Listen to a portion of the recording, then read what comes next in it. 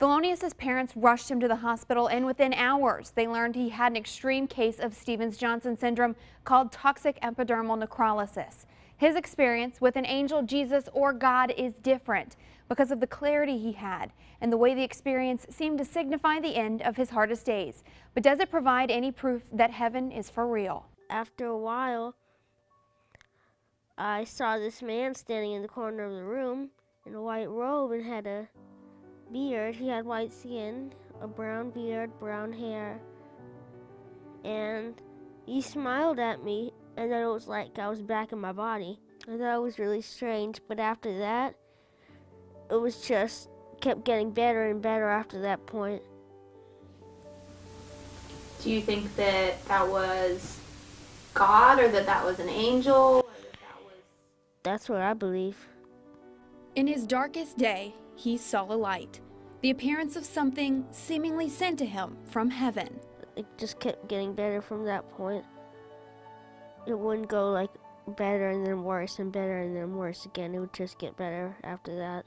Thelonious has trouble holding his head up because of muscle weakness, and he's sensitive to the light. He's legally blind. Scars on his legs mark the places Stevens-Johnson syndrome almost claimed his life. And it just kept getting worse and worse and worse, and it was literally right before our eyes. You could see the uh, the blisters spreading. You could you could look at like him growing. It was growing. one second and then look back again, and it, it had moved. It was more and more and more. It took four months for Thelonious to recover and come back to the Gulf Coast. That's when I first heard his remarkable story, and it got me thinking.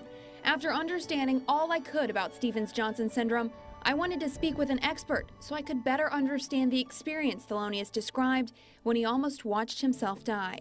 It's an empirical uh, evidence that reaffirms what uh, we've always believed in faith about being human, that there's a, a deep spiritual dimension, and that we live, the Bible says, not by bread alone, that, that we also have this spiritual dimension uh, in which we are made for uh, the presence of God, and God's presence sometimes enters into our uh, awareness in surprising ways. Not the first experience described to Father Viscardi. I asked if he truly believed this young man was visited by Christ. Well, who knows? I mean, God, God is not just an, another little UFO. Uh, God is present in all things at all times.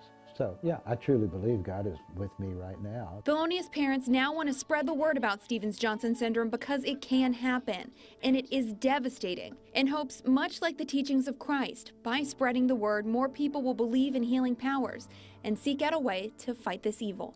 In Mobile, Alabama, I'm Haley Minogue.